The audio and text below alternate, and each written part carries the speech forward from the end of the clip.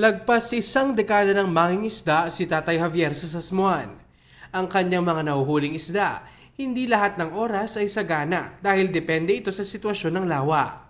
Mahirap na mangulang isda kasi nga mababaw na yung mga lawa tapos unang-una nasisira pa yung tubig dahil sa mga feeding. Wala na nauuling isda. Ang 36 na taong gulang na Sasmonenyo, isa sa mga napiling benepisyaryo ng Kapitolyo para matulungan. Isa si Tatay Javier sa mga tinipon ng pamahalaang panlalawigan ng Pampanga ng mga mangingisda at repatriated overseas Filipino workers sa bayan ng Sasmuan para maghatid ng impormasyon at kaalaman sa mga mamamayan. Higit isang daang mga residente dito sa bayan ng Sasmuan ang tinipon ng Kapitolyo para sa cash for training and work dahil isa ang bayan sa mga disaster-prone areas na nangangailangan ng prevention and mitigation measures na handog ng Kapitolyo. Nagsanib puwersa ang iba't ibang opisina ng Kapitolyo tulad ng PDREAM-O, PG-ENRO, PSWDO at Office of the Provincial Agriculturist sa magbabahagi ng napapanahong datos at paalala.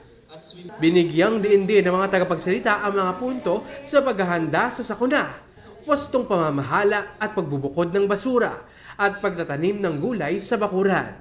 Napakahalaga po sa amin ito, especially unang-una, nabibigyan po natin ng income ang ating mga kababayan dito sa Sasmuan.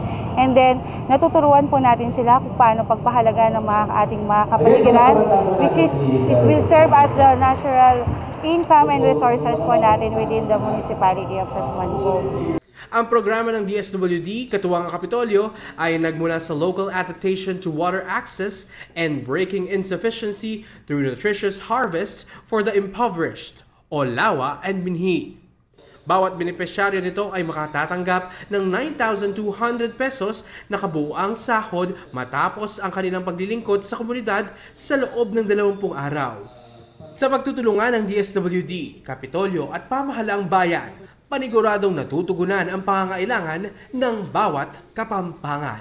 Maraming maraming salamat po sa ating gobernador. Maraming tulong po yung binigay niyo po sa amin. Lalong-lalo na dito. Malaking tulong na po yung. Maraming maraming salamat po. Sa aming gobernador po at vice gobernador and also sa mga sangguniang panlaliwigan na tumu- lagi pong tumutulong sa amin. Maraming maraming salamat po in behalf po sa aming Mayora Catalina and Cabrera.